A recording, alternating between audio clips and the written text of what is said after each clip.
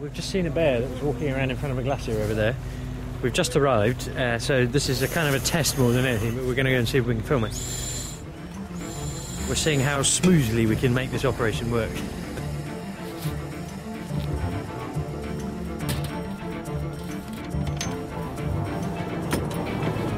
Stay on channel 6. Can you give me directions to the bear, please?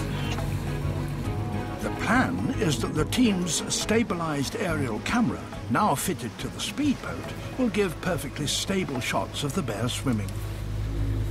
Spin us around, we'll lose that. We lose that. The fellow's over here, yeah? Oh, yeah, I'm on the got wrong him, end, got I can't yeah. go any tighter. You shoot it? Whee! Nice, nice. Look at the lights. That's nice. nice sparkle, nice liquid I'm look. going to let him go. Okay, cut. After their initial success, the weather takes a turn for the worse. For five days, there are no more polar bears to be found. The captain decides to take a break and parks up in the pack ice. But after all that fruitless searching by the crew, a bear visits them. A large and inquisitive adult male.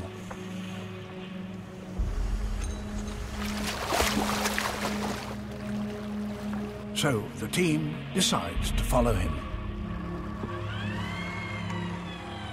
The open water between boat and bear means the crew can safely film from surprisingly close range without disturbing him. That's nice. Look.